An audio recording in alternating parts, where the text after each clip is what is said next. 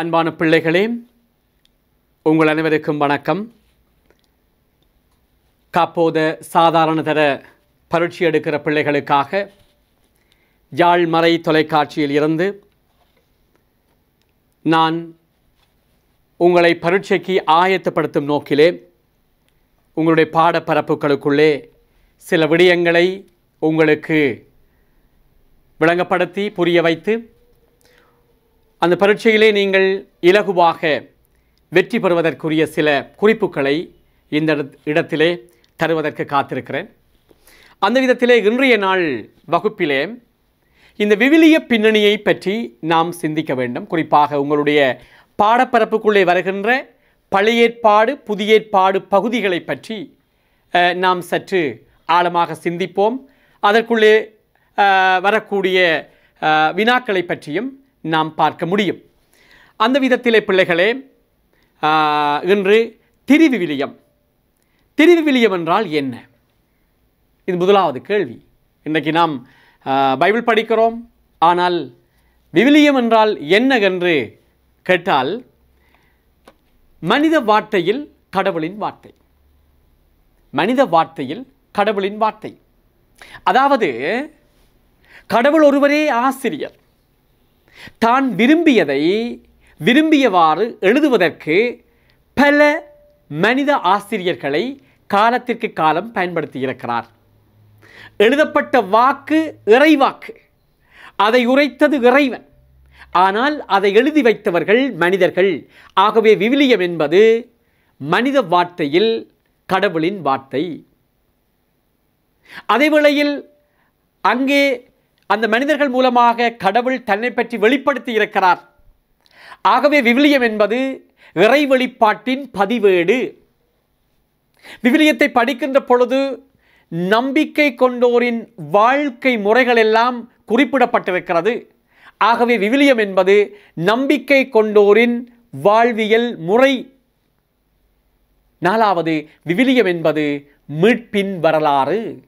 நாம் ஆபிரகாம் தொடக்கம் இயேசு வரை ஒரு வரலாற்றை படிக்கிறோம்.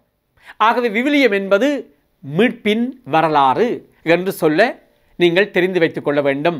ஆகவே விவிலியம் என்பது கடவுளின் வார்த்தை மனித வார்த்தையில் கடவுளின் வார்த்தை.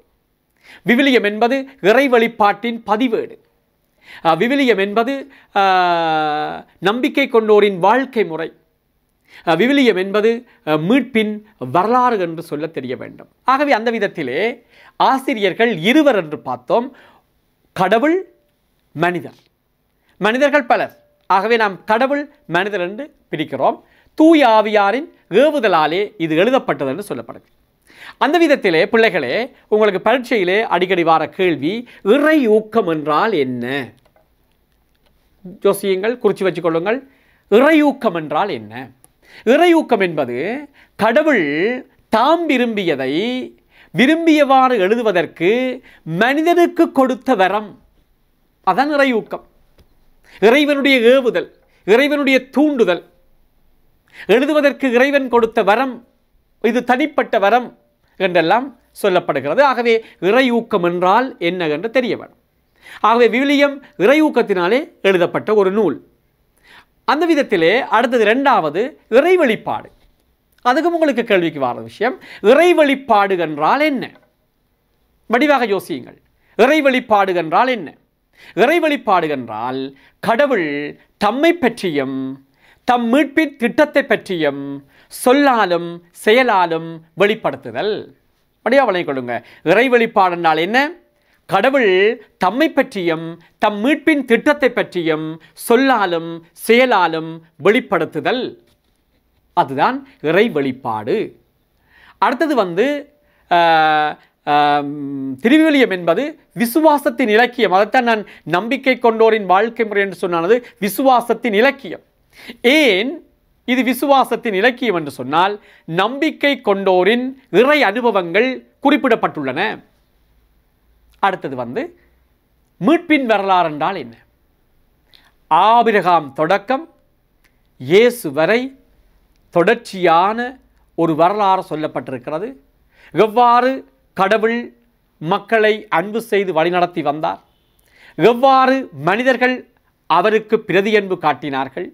என்பதை பற்றி ஒரு தொடராக எமக்கு சொல்லப்படுவதனாலே அதை நாம் மீட்பு வரலாறு என்று சொல்லுகிறோம். அடுத்த பிள்ளைகளே விவிலியத்தின் பிரிவுகள் எத்தனை?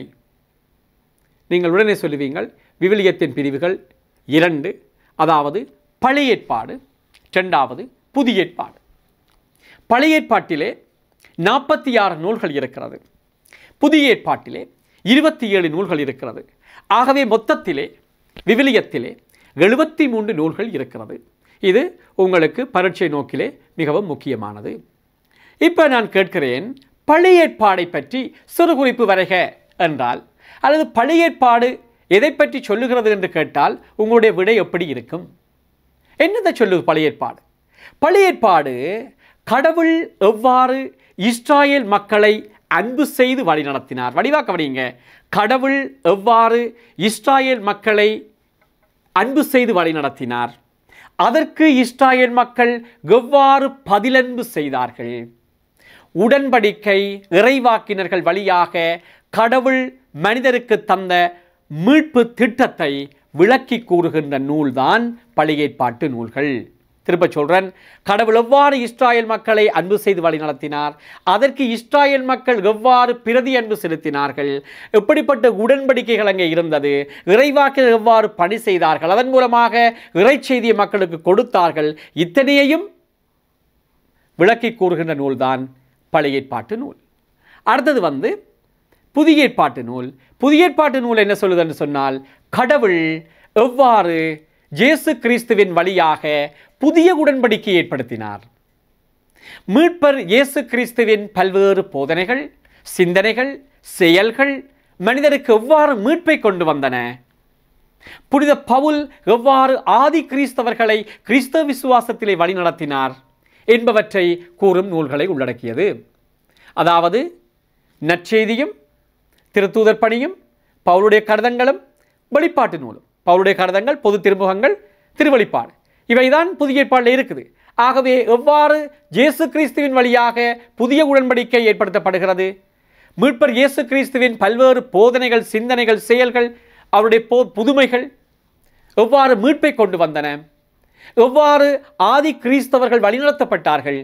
இவர்களை பற்றி செய்தி சொல்லும் நூல் புதிய ஏற்பாடாக சொல்லப்படுகிறது.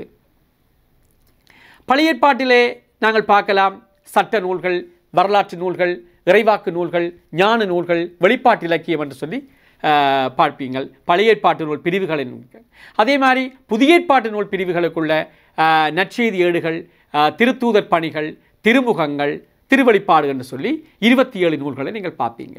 ரைட்? இப்போ நற்செய்தி நூல்கள் நாள் இருக்குது திருத்தூதர் பணிகள் ஒன்றிருக்குது திருமுகங்கள் இருபத்தி ஒன்று இருக்குது திருவழிப்பாடு ஒன்றிருக்கிறது.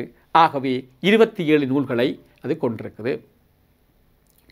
ஆகவே இந்த விதத்தில் நீங்கள் வடிவாக பார்க்கலாம்.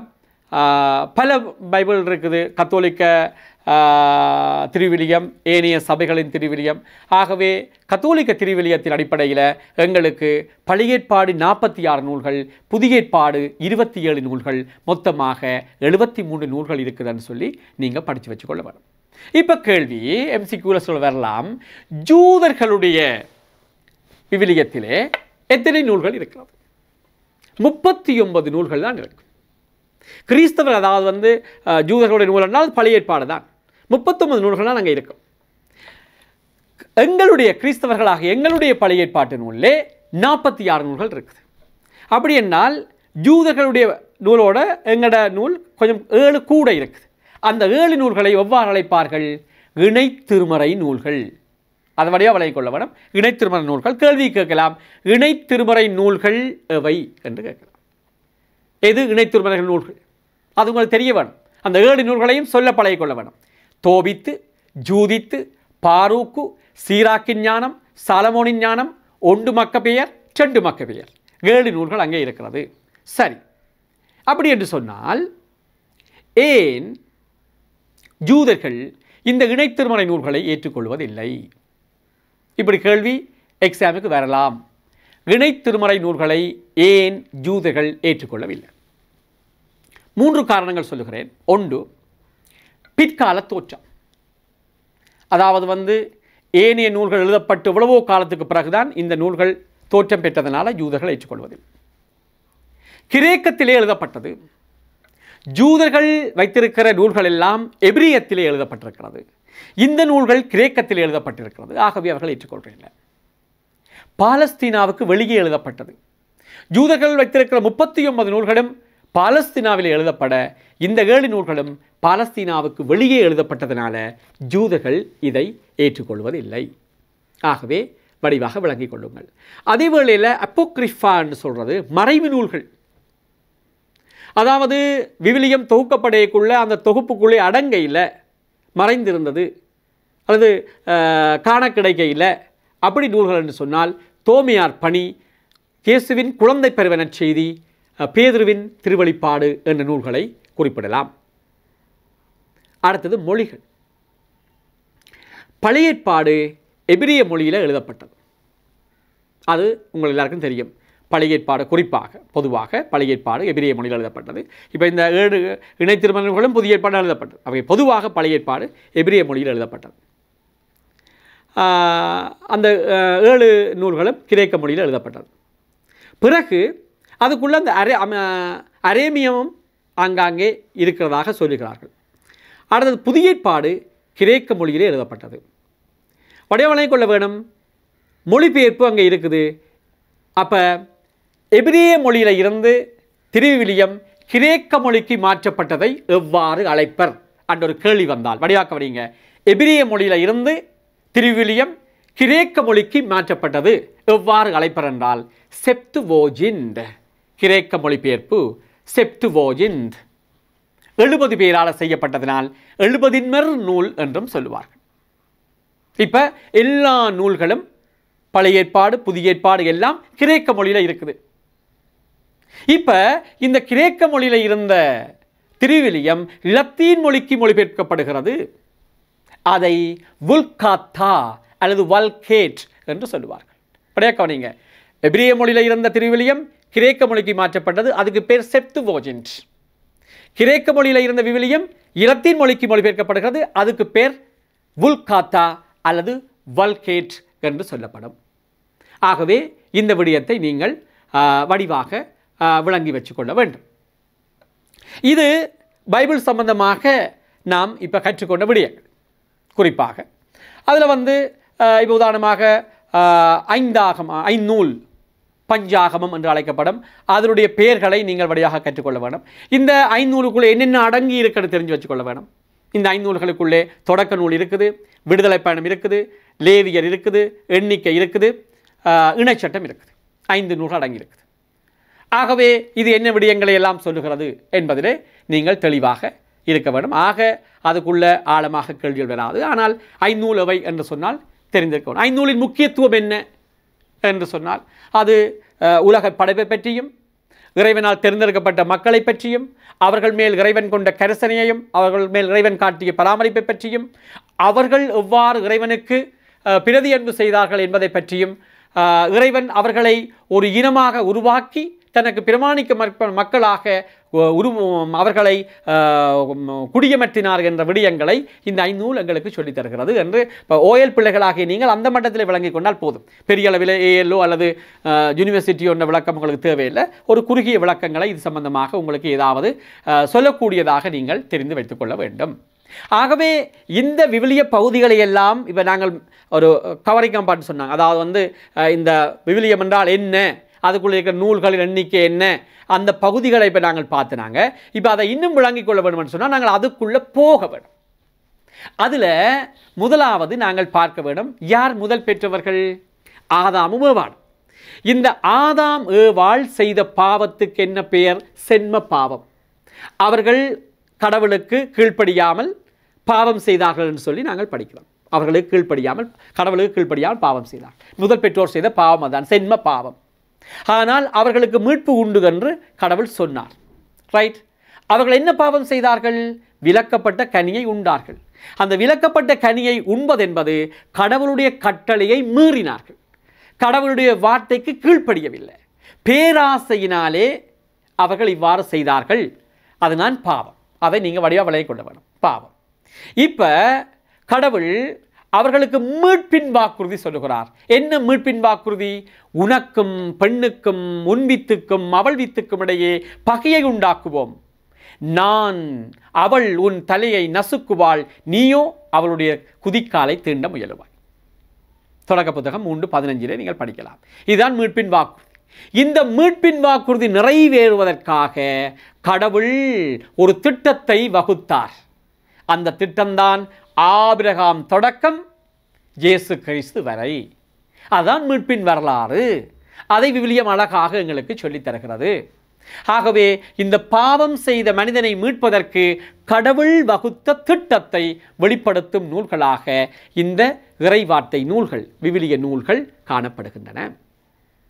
ஆகவே பிள்ளைகளே இந்த ஆதாம் ஏவாளுக்கும் காயினாவேல் என்ற பிள்ளைகள் இருக்கிறார்கள். என்ன நடக்குது? ஆபேல் நல்லவனாக இறைவனுக்கு தான் நேசித்த விரும்பிய கொளுத்த கன்றை காணிக்கையாக கொடுக்கிறான். ஆபேல் கெட்டவனாக சித்தரிக்கப்படுகிறான். தனக்கு விருப்பமில்லாத அழுகிய பொருட்களை கடவுளுக்கு காணிக்கையாக கொடுக்கிறான் விளை பொருட்களை. ஆகவே ஆபேலுடைய காணிக்கை ஏற்றுக்கொள்ளப்பட அவன் கோபத்தினால பொறாமையினால ஆபேலை கொன்றான். இப்படி ஆதாம் ஏவாள் செய்த பாவம் மனுக்குலத்துக்குள்ளே வந்தது என்பது அங்கே சொல்லப்படுகிறது. உங்களோட சிலபஸுக்குள்ளே அது இருக்குது. ஆகவே அதை நீங்கள் விளங்கி கொள்ள வேண்டும். பாருங்க. அங்கே முதல் கொலை அங்கே சொல்லப்படுகிறது. முதல் பொறாமை கோபம் எல்லாம் இந்த பாவத்தின் விளைவாக வந்தன என்பதனை திருவிலியம் எங்களுக்கு அழகாக சொல்லுகிறது. அதுக்கு பிறகு ஒவ்வொரு கட்டங்கட்டமாக சொல்லப்படுகிறது. நோவாவினுடைய காலம் சொல்லப்படுகிறது. இந்த நோவாவினுடைய காலத்திலே மக்கள் மிக தீயவர்களாக இருக்கிறார்கள். கொடூரமானவர்களாக இருக்கிறார்கள். இந்த மக்களை இந்த உலகிலே வைத்தால் அது இந்த உலகம் தாங்காது என்று கடவுள் கருதினார். ஆகவே அவர்களை அழிக்க திட்டமிட்டார். அழிக்க திட்டமிட்டார். ஆகவே பெருவெள்ளத்தினாலே அவர்களை அழிக்க திட்டமிட்டார். ஆனால் நோவா நீதிமான். ஆகவே அவரை காப்பாற்ற வேண்டும் என்று சொல்லி கடவுள் ஒரு பெட்டகம் ஒன்று செய்து அந்த பெட்டகத்துக்குள்ளே நோவாவையும் இந்த உலகத்தில் இருக்கிற விலங்கினங்கள் உயிருள்ளவை எல்லாவற்றையும் ஒரு சோடியாக அதற்குள்ளே வைத்து அந்த அழிவிலிருந்து அவற்றை காப்பாற்றி நோவாவோடு உடன்படிக்கை செய்து மீண்டும் இந்த உலகை கடவுள் விருத்தி செய்யும் பணியிலே இறங்குகிறார்.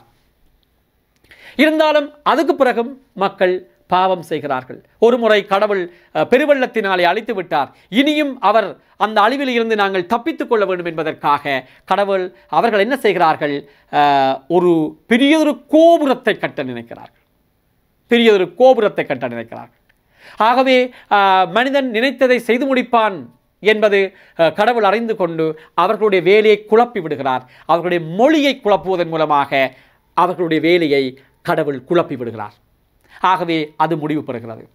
இவ்வாறு இந்த தொடக்க புத்தகம் ஒன்று தொடக்கம் பதினொன்று வரையும் பல விடயங்களை சுருக்கமாக அங்கே கூறியிருக்கிறது. அதனாலே சில வேளைகளில் நீங்களும் விளங்காமல் இருக்கலாம். அது எங்களுக்கு அவ்வளவு அவசியமில்லை. அதாவது கடவுள் இந்த உலகத்தை படைத்தார் மனிதர்களை அன்பு செய்தார் மனிதர்கள் கடவுளுக்கு எதிராக பாவம் செய்தார்கள். அந்த பாவத்திலிருந்து விடுதலை கொடுப்பதற்கு கடவுள் பல பல வழிகளை தேடினார். அதற்குரியவர்களாக மனிதர்கள் இருக்க இல்லை. ஆகவே கடவுள் ஒரு முடிவுக்கு வந்தார். இனி நான் இவர்களில் இருந்து ஒரு இனத்தை உருவாக்குவேன். விளங்குதா பிள்ளைகளே? ஒரு இனத்தை உருவாக்குவேன். அதிலே முதலாவது தொடக்க புத்தகம் பன்னிரெண்டாம் அதிகாரத்திலே ஆபிரகாம் அழைக்கப்படுகிறார். விசுவாசத்தின் தந்தை என்று சொல்லப்படுகிற ஆபிரகாம் அழைக்கப்படுகிறார். இஸ்ராயல் மக்களுடைய குலத்தந்தை ஆபிரகாம். ஆகவே ஆபிரகாமை பற்றி உங்களுக்கு தெரியவர் ஆபிரகாம் விசுவாசத்தின் தந்தை என்று அழைக்கப்பட காரணம் என்ன? விளக்குக என்று கேட்கலாம். முதலாவது அவருடைய அழைப்பு பிள்ளைகளே. ஆபிரகாம் நான் உனக்கு உன் நாட்டையும் உன் இனத்தையும் உன் தந்தையின் வீட்டையும் விட்டு புறப்பட்டு நான் காட்டவிருக்கிற நாட்டுக்கு போ. உடனடியாக ஆண்டவருடைய வார்த்தையை நம்பியவர் புறப்பட்டார். அவருக்கு நூறு வயசு. சாராக்கு தொண்ணூறு வயசு. கடவுள் சொல்றார் ஆபிரகாம் நீ கூடுமானால் வானத்து விண்மீன்களை எண்ணி எண்ணிப்பார். கடற்கரை மணலை எண்ணிப்பார். அவ்வளவு உன்னுடைய சந்ததி இருக்கும். நம்பினார். ஆண்டவருடைய வார்த்தையை நம்பினார். மூன்றாவது ஈசாக் பிறந்துட்டான். அவன்தான் உலகம் என்று அவனை அன்பு செய்து ஆபிரகாம் வாழ்ந்து வருகிறார். ஒரு நாள் கடவுள் ஆபிரகாமை சொல்றார் ஆபிரகாம் உன்னுடைய மகனை அழைத்து கொண்டு மோரியா மலையிலே எனக்கு அவனை பலியிடுவாயாக. இவன் மூலமாகத்தான் தனக்கு வம்சம் வரப்போகிறது என்று காத்திருந்தவர். ஆனால் ஆண்டவர் சொன்னவுடனே ஈசாக்கை கூட்டிக் கொண்டு புறப்பட்டு அவரை பலியிடப் போகிறார். அந்த வேளையிலே ஆண்டவர் தடுக்கிறார். கடைசியாக சாரா இறந்து விட்டார்.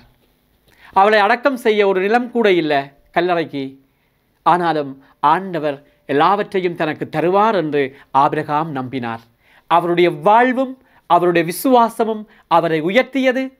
இந்த இஸ்ராயல் என்கின்ற பெரு இனத்தின் விருட்சத்தினுடைய வேராக ஒரு குலத்தந்தையாக ஆபிரகாம் விளங்குவதற்கு காரணம் அவருடைய விசுவாச வாழ்வு பிள்ளைகளே. இதை நீங்கள் விளங்கிக் கொள்ள வேண்டும். அவருக்கு பிறகு ஈசாக் வாரார். ஈசாக்கு பிறகு யாக்கோபு வாரார். இந்த மூன்று பேருக்கும் பெயர் குலமுதுவர்கள். இப்போ உங்களை குலமுதுவர்களை குறிப்பிடுக என்று சொன்னால் நீங்கள் ஆபிரகாம் ஈசாக்கு யாக்கோபு என்று குறிப்பிடவர் அடுத்தது இந்த வரிசையிலே பார்க்கக்குள்ள ஈசாக்கை பற்றி அதிகம் பேசல ஆனால் உங்களுக்கு தெரியணும் ஈசாக்கினுடைய மனைவியின் பெயர் ரெபேக்காள். ஈசாக்கினுடைய புதல்வர்களுடைய பெயர் ஏசாயா ஜாக்கோபு அதுக்கு பிறகு ஜாக்கோபுனுடைய இதான் சொல்லப்படுது. யாக்கோபு ஒரு ஏமாத்துக்காரனாக பைபிள் சொல்லுது முதலிலே. அதாவது ஏசாயிடமிருந்து தலைச்சன் உரிமையை தந்திரமாக பெற்றுக்கொண்டார். ஒரு தின்பண்டத்தை கொடுத்து தலைச்சன் உரிமையை பெற்றுக்கொள்கிறார். தாய் ரெபேக்காவினுடைய அவரோடு சேர்ந்து தந்தை மூத்தவனுக்கு கொடுக்கிற ஆசீர்வாதத்தையும் கபடமாக பெற்றுக்கொள்கிறார். இது யாக்கோபுடைய வாழ்வில் நாங்கள் கற்றுக்கொள்கிறோம். அப்படியே தன்னுடைய அண்ணனுக்கு பயந்து தன்னுடைய த மா- மாமனராகிய லாபானோட போய் அங்கே இருக்கைக்குள்ளதான் அவர் அவருடைய பிள்ளைகளை திருமணம் செய்கிறார். லீயாலையும் ராக்கேலையும் திருமணம் செய்கிறார். இவ்வாறு திருமணம் செய்தனால அவருக்கு பதிமூன்று பிள்ளைகள் பிறக்கிறார்கள். பதிமூன்று பிள்ளைகள். அதிலே பன்னிரண்டு புதல்வர்கள். ஒரு பெண் பிள்ளை தீனாகின்ற பிள்ளை. இப்போ இவர்களோடு அவர்கள் வாழ்ந்து வருகிற பொழுதுதான் பிள்ளைகளே பஞ்சம் ஏற்படுகிறது. நான் ஒரு கதை மாதிரி சொல்லிக்கொண்டு வாரன். இதை நீங்கள் வடிவாக கேட்டீங்கன்னா உங்களோட கேள்விகளுக்கு இலகுவாக விட எழுதலாம். பிறகு நான் உங்களுக்கு ஒரு பேப்பர் கிளாஸும் செய்வேன். அந்த பேப்பர் கிளாஸில் இன்னும் கூட உங்களுக்கு விளங்கப்படுத்துவேன். இப்போ நீங்கள் இந்த விடயத்தை அதாவது விவிலியம் என்றால் என்னதில் இருந்து சொல்லிக்கொண்டு வாரன் அப்படியே ஒரு கதை மாதிரி நீங்கள் கேட்டுக்கொண்டு வாங்க. ஆகவே இந்த ப யாக்கோபினுடைய இதில் காலத்தில் ஜோசேப்பு உங்களுக்கு தெரியும் நீங்கள் அந்த கதையெல்லாம் கேட்டிருப்பீங்க. சகோதரர்களுடைய சூழ்ச்சியினால் அவர்கள் அவன் மேல் கொண்ட கோபத்தினால் ஜோசேப்பை இஸ்லாமிய வியாபாரிகளுக்கு விற்க அவர் அங்கே எகிப்துக்கு கொண்டு போகிறார்கள் எகிப்தில் யோசேப்பு வளர்ந்து வாரார். வளர்ந்து வரையக்குள்ள இந்த யாக்கோபும் யாக்கோபுடைய புதல்வர்களும் பஞ்சத்தினால எகிப்துக்கு போகிறார்கள். எகிப்திலே அவர்கள் போய் குடிய குடியமர்கிறார்கள்.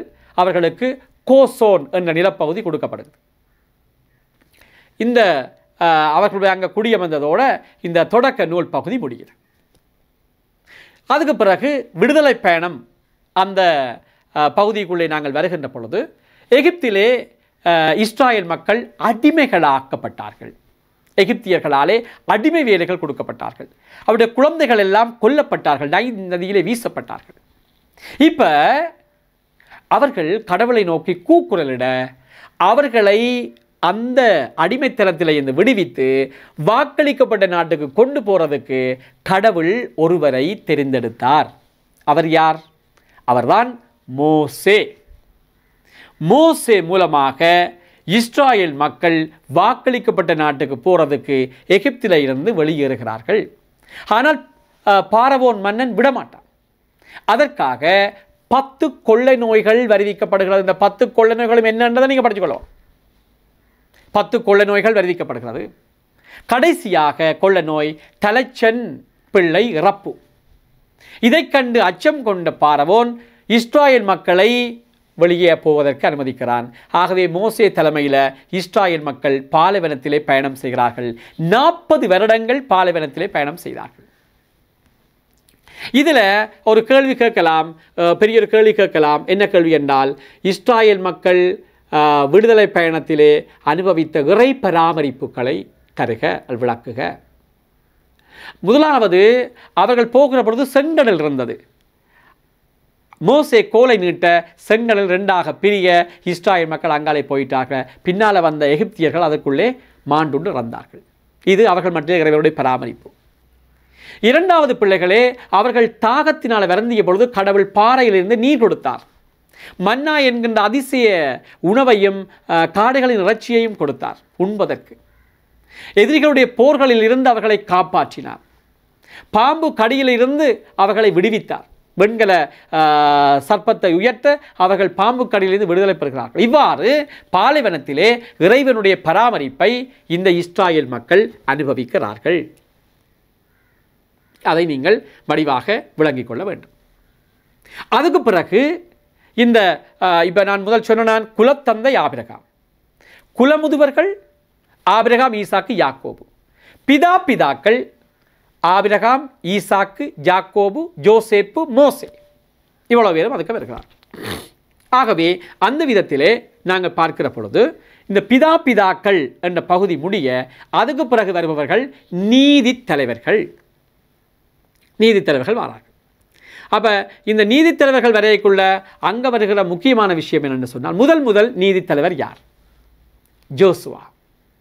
Joshua Othniel Deborah Abimelech ஹிதியோன் இப்தா Samson Samuel போன்றவர்கள் நீதித் தலைவர்கள் கேள்விக்கு வரலாம் இறுதி நீதி தலைவர் யார்? சாமுவேல். முதல் இறைவாக்கினர் யார்? சாமுவேல். முதல் நீதித் தலைவர் யார்? ஜோசுவா ஆகவே அதை நீங்கள் வடிவாக படித்து வச்சுக்கொள்ள வேண்டும். ஆகவே பிள்ளைகளே அந்த விதத்தில் மற்ற இன்னொரு விடயத்தை நீங்கள் பார்க்க வேண்டும் சீனாய் மலையில் கடவுள் மோசையோடு அதாவது இஸ்ராயல் மக்களோடு உடன்படிக்கை செய்து கொள்கிறார். நீங்கள் என்னுடைய மக்களாக இருந்தால் நான் உங்களுடைய கடவுளாக இருப்பேன். அங்கே செய்த உடன்படிக்கையை தான் மோசே பத்து கட்டளைகளாக எழுதி கொண்டு கொடுக்கிறார். இந்த பத்து கட்டளைகளும் உங்களுக்கு தெரியும். சிறு குறிப்புக்கு வரும். அதனால் இதில் சொல்ல இல்லை. பத்து கட்டளைகளையும் நீங்கள் வடிவாக படித்து வச்சுக்கொள்ள வேணும் அப்போ தான் ஒரு பரீட்சைக்கு நீங்கள் மார்க்ஸ் எடுக்கக்கூடியதாக இருக்கும். ஆகவே அந்த பத்து கட்டளைகள் அந்த உடன்படிக்கையை எழுதி ஒரு பேழைக்குள்ளே வைத்து அவர்கள் அந்த உடன்படிக்கை பேழையை எல்லா இடமும் கொண்டு சென்று பிறகு தாவிதனுடைய காலத்தில் அந்த உடன்படிக்கை எரிசலம் நிறுவப்பட்டு பிறகு எருசலேம் ஆலயம் சாலமோனால் கட்டப்படுது அன்றதை நீங்கள் விளங்கிக் கொள்ள வேண்டும் ஆகவே இந்த நீதி தலைவர்கள் காலத்தில் வாக்களிக்கப்பட்ட நாளில் இஸ்ராயல் மக்கள் எல்லாம் குடியமறையக்குள்ள அவர்களுக்கு நீதி வழங்கியவர்கள் தான் நீதித் தலைவர்கள். இந்த நீதித்தலைவர்கள் காலத்தில் தான் இஸ்ராயல் மக்கள் தங்களுக்கு ஒரு அரசன் வேணுமென்று ஆண்டவரை கேட்கிறார் கடவுளை கேட்கிறார். அப்போ கடவுள் சொல்றார் உங்களுக்கு அரசர் தேவையில்லை. நானே எங்களுடைய அரசர்னு சொல்ல அவர்கள் இல்லை எங்களுக்கு சாரி அரசர் தேவை என்று கேட்டதுனால முதல் அரசன் இஸ்ராயல் முதல் அரசன் பேர் என்ன? சவுல். சவுல் பெஞ்சமின் கோத்திரத்தைச் சேர்ந்த கீஸ் என்பவருடைய மகன் சவுலை கடவுள் இஸ்ராயல் மக்களுக்கு அரசராக கொடுக்குறார். அவனுடைய ஆட்சி நல்லா இருக்கே இல்லை அதனால் அவனை எடுத்துக்கொண்டு பிறகு தாவீது அரசராக அவன் இறக்கிறான். பிலிஸ்தியருடைய போரிலே முதல் அரசன் சவுல் இறக்க தாவீது அரசனாகிறார். தாவீது ஒரு உன்னதமான அரசர். நிறைய மாற்றங்களை கொண்டு வந்து நீண்ட காலம் ஆட்சி செய்த ஒரு அரசர். இருந்தாலும் அவரும் ரெண்டு பெரிய பாவம் செய்கிறார். ஒன்று ஊரியாவின் மனைவியை பெஸ்தபையை கவருவதற்காக ஊரியாவை கொன்றார். ரெண்டாவது ஆண்டவருக்கு விருப்பம் இல்லாமல் இஸ்ராயல் மக்களுடைய எண்ணிக்கையை கணக்கெடுத்தான் பிறகு தாவீதுக்கு பிறகு சலமோன் ஆட்சிக்கு வாரான். உங்களுக்கு தெரியும் எம்சிக்யூல எல்லாம் வாரது. ஆஹ், சலமோன் இறைவனிடமிருந்து பெற்ற உன்னதமான வரம் என்ன? ஞானம். சாலமோனை கடவுள் கேட்டார் சாலமோனே உனக்கு என்ன வேணும்? அப்போ சொன்னான் ஆண்டவரே உம்முடைய மக்கள் பறந்து விரிந்திருக்கிறார்கள். இவர்களை நான் ஆட்சி செய்வதற்கு எனக்கு ஞானம் வேண்டும் என்று கேட்டான். அப்போ ஆண்டவர் அவனுக்கு ஞானத்தை அள்ளி கொடுத்தார். சலமுனை போல ஞானம் உள்ளவர் இந்த மண்ணிலே தோன்றியதும் இல்லை பிறந்ததும் இல்லை இனி பிறக்கப் போவதும் இல்லை என்று சொன்னார். அவ்வளவு தூரம் அந்த சாலமோனுக்கு கடவுள் ஞானத்தை கொடுத்தார். இந்த சாலமோன் மன்னன் தான் ஜெருசலேம் ஆலயத்தை கட்டுறான். இந்த உலகம் புகழ்பெற்ற ஒரு பிரமாண்டமான ஆலயம் அழகான ஆலயம் பல வடிவங்களை கொண்ட ஒரு ஆலயமாக இந்த எருசலேம் ஆலயம் சிறப்புற்று விளங்குவது விளங்கியது. அதுக்கு பிறகு அந்த ராட்சியம் ரெண்டாக பிளவுபடுது. வட அரசாகவும் தென்னரசாகவும் பிளவுபட ஜூதர்கள் சமாரியர்கள் என்கின்ற இனங்கள் உருவாகுது. ஜூதர்கள் சமாரியர்கள் என்கின்ற இனம் உருவாகுது. ஆகவே இந்த ச வட அரசு சமாரியர்கள் வாழ்ந்த வட அரசை அசீரியர்கள் கைப்பற்றினார்கள். ஜூதர்கள் வாழ்ந்த தென்னரசை பெபிலோனியர்கள் கைப்பற்றினார்கள். இவ்வாறு அடிமைத்தரத்தில் இருக்கைக்குள்ளதான் மீண்டும் இறைவாக்கினர்கள் முன்னுரைத்த மாதிரி மீண்டும் இஸ்ராயல் மக்கள் தங்களுடைய சொந்த நாட்டிலே வந்து குடியேறுகிறார்கள். குடியேறிய காலத்தில் பிறகு பாரசீகர்கள் கிரேக்கர்கள் மல மகா அலெக்சாந்தருடைய காலத்தில் கிரேக்கர்கள் ஆட்சி செய்கிறார்கள். அதுக்கு பிறகு ரோமியர்கள் இஸ்ராயல் மக்களை ஆட்சி செய்கிறார்கள். அந்த காலத்திலே தான் ஜேசு பிறக்கிறார். அப்போ ஜேசு பிறக்கும் வரை இவ்வளவு நேரமும் நாங்கள் பார்த்தது பழைய ஏற்பாடு. நான் அடுத்த வகுப்பில் உங்களுக்கு பேப்பர் செய்வேன். அதில் எம்சிக்யூ கேள்விகள் செகண்ட் பார்ட் கேள்விகள் செய்யக்குள்ள இந்த பகுதியை வந்து எப்படி கேள்வி வரும் சொல்லி நான் உங்களுக்கு சொல்லித் தருவேன். இன்றைக்கு நான் பொதுவாக விவிலியம் என்றால் என்ன? அதிலிருந்து அதனுடைய பாத்திரங்கள் அதுக்குள்ளே வர விடயங்கள் அதனுடைய முக்கியத்துவத்தை பற்றி நான் சொல்லிக்கொண்டு போகிறேன் ஆகவே இவ்வளவு விடயங்களும் பிள்ளைகளே பழைய ஏற்பாட்டு விடயங்கள் இயேசு வருகை வரை பழைய ஏற்பாட்டு விடயங்கள். அதுக்கு பிறகு நாம் இயேசுவை பற்றி படிக்க வேணும். அது உங்களுக்கு உங்களுடைய சிலபஸில் கட்டம் கட்டமாக போட்டிருக்குது. நற்செய்திகளை பற்றி போட்டிருக்கு குறிப்பாக. ஆகவே ஜேசுடைய தாய் புனித கனிமரியா வளர்ப்பு தந்தை யோசேப்பு தூயாவியானவரால் தூ- மரியா கரித்தரித்து இயேசுவை பெற்றெடுக்கிறார் இயேசுவினுடைய பிறந்த நாளை நாங்கள் டிசம்பர் இருபத்தைந்தாம் தேதி கொண்டாடுகிறோம் இயேசு முப்பது ஆண்டுகள் பெற்றோருக்கு கீழ்ப்படிந்து வாழ்கிறார் முப்பதாவது ஆண்டில் திருமுழுக்கு பெற்று தன்னுடைய பகிரங்க பணி ஆரம்பிக்கிறார் மூன்று வருடங்கள் தான் இயேசு பணியாற்றினார் ஆனால் இந்த மூன்று வருடமும் இந்த முழு உலகையும் மீட்டெடுப்பதற்காக அவர் எத்தனையோ அரிய பெரிய போதனைகளை அக்கால மக்கள் மத்தியிலே விட்டு விட்டுச் சென்றார். தன்னை எங்களுக்கு கொடியாக தந்தார். அவருடைய உயிர் தியாகம்தான் இன்று எங்கள் ஒவ்வொருவருக்கும் மீட்பை பெற்று தந்திருக்கிறது பிள்ளைகளே. ஆகவே ஆண்டவர் இயேசுவில நாங்கள் நம்பிக்கை கொள்ள வேண்டும். அவர்தான் நாம் மீட்பு பெறுவதற்கு ஒரே ஒரு வழி. இப்படியான விடயங்களை எல்லாம் நற்செய்திகள் எங்களுக்கு போதிக்கிறது.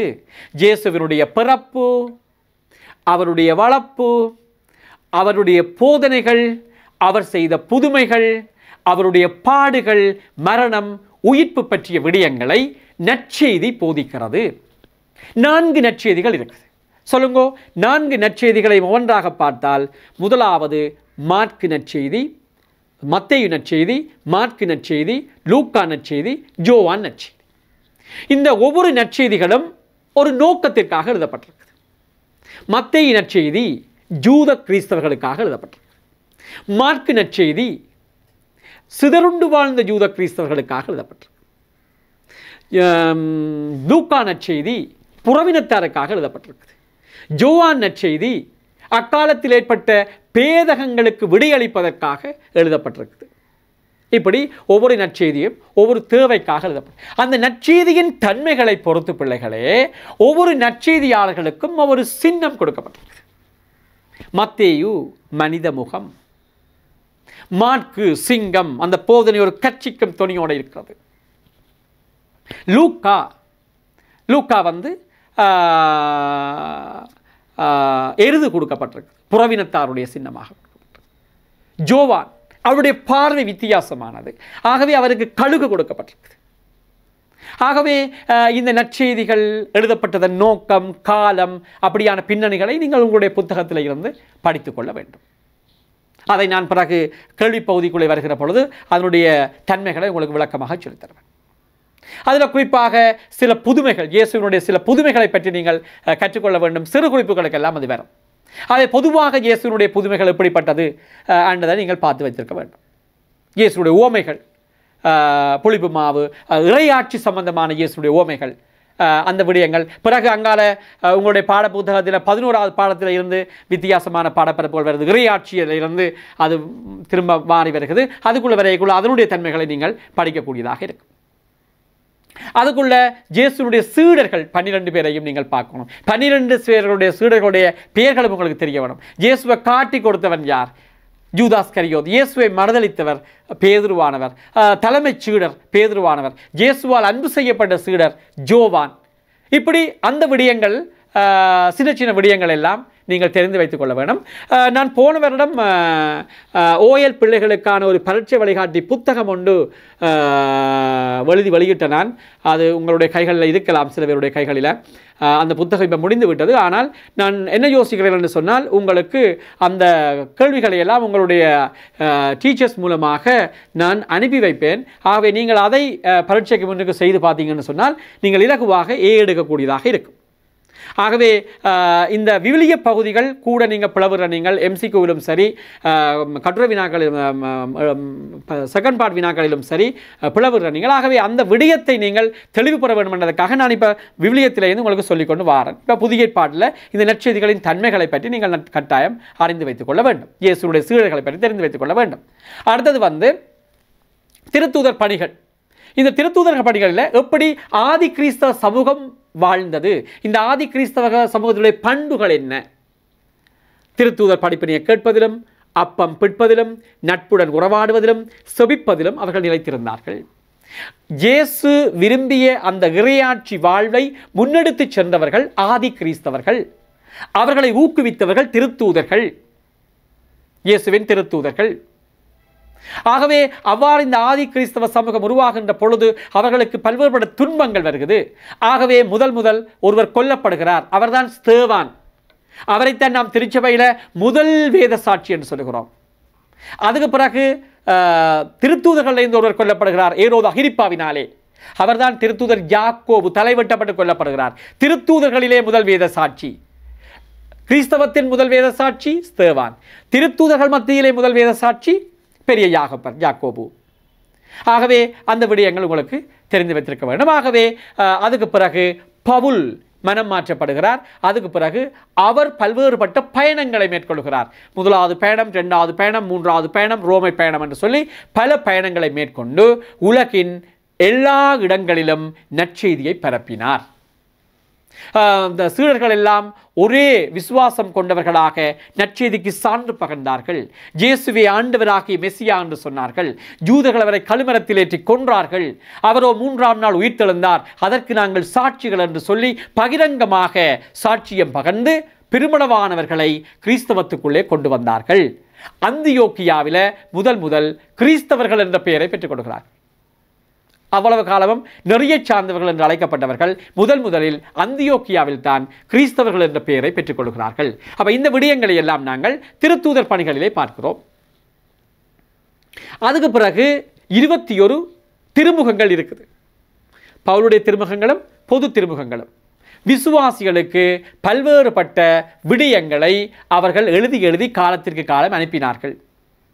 அதுக்கு பிறகு கடைசி புத்தகம் திருவழிப்பாடு நடக்க இருக்கிற விடயங்களை ஜோவான் காட்சியாக கண்டு சான்று பகர்வதாக அந்த திருவழிப்பாட்டு புத்தகம் இருக்கிறது. இவ்வளவு தான் பிள்ளைகள் புதிய ஏற்பாட்டினுடைய ஒரு பின்னணி. ஆகவே விவிலியத்தினுடைய பின்னணி என்று நாங்கள் பார்த்தோம் பழைய ஏற்பாட்டினுடைய பின்னணியை ஆபிரகாமில் இருந்து இயேசு மட்டும் பார்த்தோம் அதுக்கு பிறகு புதிய ஏற்பாட்டு பின்னணிக்குள்ள நற்செய்திகள் திருத்தூதர் பணி திருமுகங்கள் வெளிப்பாடுன்னு சொல்லி நாங்கள் பார்க்குறோம். இவ்வளவும் தான் பிள்ளைகளே இந்த விவிலிய பின்னணி என்ற பகுதிக்குள்ள நீங்கள் பார்க்க வேண்டிய முக்கியமான பகுதியாக இருக்கும். இதுக்குள்ள கேள்விகள் பல மாதிரி அமையும். நான் ஒவ்வொரு கேள்வி பேப்பர்களையும் உங்களுடைய டீச்சர்ஸுக்கு நான் போடுவேன். குறிப்பாக ஜேசுனுடைய பாடுகள் மரணம் உயிர்ப்புக்குள்ள கேள்விகள் வாரது. இயேசுவை காட்டி கொடுத்தவர் இயேசுவுக்கு மனதண்டனை விதித்தவர் பிலாத்து ரைட் அந்த காலத்தில் தலைமை குருவாக இருந்தவர் கைப்பாஸ். இப்படியான இந்த பாத்திரங்களை பற்றியெல்லாம் நீங்கள் நிச்சயமாக மனதில் அரைஞ்சி வச்சுக்கொள்ள வேணும் அப்போ தான் இந்த எம்சிக்யூ கேள்விகள் எல்லாத்தையும் நீங்கள் பதில் சொல்லலாம். இயேசு இறந்து யாருக்கு முதல் முதல் தோன்றினார்? உயிர் தெழுந்து யாருக்கு தோன்றினார்? மகதர மரியாவுக்கு அப்போ இப்படி சின்ன கேள்விகளை எல்லாம் நீங்கள் பிளவிடக்கூடாது. ஏன்னால் உங்களுக்கு மார்க்ஸ் போயிடும். ஏ எடுக்க வேண்டும்னு சொன்னால் இந்த சின்ன சின்ன கேள்விகளுக்கெல்லாம் உங்களுக்கு பதில் சொல்லக்கூடியதாக நீங்கள் இருக்க வேண்டும். ஆகவே இந்த விவிலியத்தை பற்றி நீங்கள் ஆழமாக கற்றுக்கொண்டு அடுத்ததாக நாங்கள் இன்னொரு கொஞ்சம் போகலாம். அடுத்தது இறையாட்சி. இறையாட்சி என்றால் என்ன? இறை விருப்பத்திற்கு பணிவது இறை விருப்பத்துக்கு பணிவது தான் இறையாட்சி. அப்ப இயேசு இறையாட்சி மதிப்பீடுகளை உவமைகள் மூலம் கற்பித்தார். என்னென்ன உவமைகள் மூலம்? விதைப்பவன் உவமை வயலில் தோன்றிய களைகள் உவமை கடுகு விதை புளிப்பு மாவு உவமை புதையல் முத்து வலை உவமைகள் மூலமாக இயேசு கற்பிக்கிறார். குறிப்பாக இயேசுனுடைய போதனைகளின் சிகரமாக இருப்பது மலைப்பொழிவு. மலைப்பொழிவு மத்திய நச்செய்தி ஐந்தாம் ஆறாம் ஏழாம் அதிகாரங்களிலே அடங்கியுள்ளது. அதில் வந்து எட்டு பேறுகள் உப்பு மொழியும் பழிவாங்குதல் பகவரிடம் அன்பாயிருத்தல் அறச்சியல்கள் நோன்பிருத்தல் உண்மை செல்வம் இப்படியான விடயங்கள் அங்கே சொல்லப்பட்டிருக்கிறதை நீங்கள் பார்க்கலாம். அந்த விதத்திலே எட்டு பேர்களை பற்றி நீங்கள் படித்து வச்சுக்கொள்ள வேணும். அது சிறு குறிப்புகளையும் வரலாம் அதுக்குள்ள கேள்விகளும் வரலாம் அப்போ அந்த எட்டு பேர்களை பற்றி நீங்கள் படித்து வச்சுக்கொள்ள வேணும். அடுத்து வந்து இலங்கையின் ஒழுக்க விழுமியங்களில் பிரதிபலிக்கும் இறையாட்சி மதிப்பீடுகள்.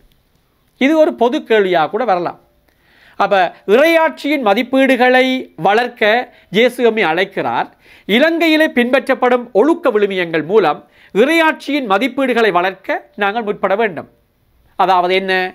அந்த இறை அந்த இலங்கை ஒழுக்க விழுமியங்களில் அது எப்படி பிரதிபலிக்குதுன்னு சொன்னால் கரங்களை குவித்து கடவுளுக்கு சோத்திரம் கூறுதல். வீட்டிலிருந்து வெளிப்பயணங்கள் செல்லும் முன்னே மற்றும் ஒரு முக்கிய செயலை அல்லது வேலையை ஆரம்பிக்கும் முன்னர் செபித்தல் சிலுவை அடையாளம் வரைதல்.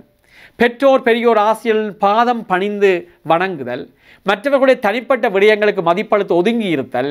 பெரியோரை மதித்தல் உரிய உய அந்த கௌரவம் அளித்தல். மூத்தோர் பெரியோர் முன்னிலையில் எழுந்து நிற்றல். அவர்களை விட மேல் ஆசனங்களில் அமராதரித்தல் எல்லாம் இலங்கையில் நாங்கள் பின்பற்றுகின்ற ஒழுக்க விழுமியங்களாக இருக்கும். ஆகவே இந்த விடயத்தை நீங்கள் வடிவாக விளங்கிக் கொள்ளுங்கள் அதோடு இன்றைக்கு இன்னொரு விடயத்தையும் பார்த்து போட்டு இந்த வகுப்பை நாங்கள் முடிப்போம். மேற்கொண்டு தொடர்ந்து நான் உங்களுக்கு வகுப்பு எடுப்பேன் ஆகவே திருமுழுக்கும் உறுதி பூசலும் அதை நாங்கள் அருட்சாதனம் வண்டே பார்ப்போம். அருட்சாதனங்கள். இந்த அருட்சாதனங்களுக்குள்ளே தான் அதிகமாக ஒரு பெரிய கேள்வி ஒன்று வாரது. ஏனைய பகுதிகளுக்குள்ளே வரும். அதுபோல் இந்த அருட்சாதனத்துக்குள்ளே பொதுவாக வாரது கேள்வி. ஏன்னா உங்களுக்கு தெரியும் ஏழு அருட்சாதனங்கள் இருக்குது. அதில் இன்றைக்கு நாங்கள் திருமுழுக்கை உறுதி பூசலையும் பார்ப்போம். திருமுழுக்கண்டா என்ன? இதைத்தான் நாங்கள் புகுமுக அருட்சாதனம் என்று சொல்வோம். அதாவது வந்து இந்த திருமுழுக்கு அருளடையாளம் வழங்கும் இறை அருள் என்ன? சென்ம பாவத்தில் இருந்து கழுவப்படுதல். ரைட் பிறகு கண்ம பாவத்திலிருந்து விடுபடுதல். இப்போ உதாரணமாக திருமுழுக்க நாங்கள் ரெண்டாக பிரிக்கிறோம். வளர்ந்தோர் திருமுழுக்கு குழந்தை திருமுழுக்கு. குழந்தை திருமுழுக்கு என்று சொன்னால் சென்ம பாவத்திலிருந்து விடுதலை பெறலாம். ஏன்னா குழந்தைகள் ஏறிய பாவம் முப்பத்தி நாள் அந்த பிள்ளை எதுவும் பாவம் செய்திருக்காது. வளர்ந்தோர் திருமுழுக்கு இருக்குது பெரியாக்கள் திருமுழுக்கு பெறுறது அப்போ அவைக்கு சென்மபாவம் இல்லாமல் போகுது. அவர்கள் தங்களுடைய வாழ்க்கையில் செய்த கண்மபாவம் இல்லாமல் போகுது. அடுத்த இறைவனின் பிள்ளையாதல். மூவொரு கடவுள் வாழும் இல்லமாதல். ஆன்மாவின் அழியாத முத்திரை ஒன்று பதிக்கப்படல். இறையரசின் உரிமையாளராதல். மற்ற அடையாளங்களை பெறுவதற்கான தகுதியை பெற்றுக்கொள்தல் திருமுழுக்கு பெறாமல் ஏனியா அரசாங்கம் பெறையலாம். இது புகுமுக அருளா அருளடையாளமாக கூட இருக்கும். குருத்துவ மேய்ப்பு இறைவாக்கு பணியில் ஈடுபடுதல். அதாவது மூன்று பணிகள் கொடுக்கப்படுகிறது. அதாவது குருத்துவ பணி மேய்ப்பு பணி இறைவாக்கு பணி.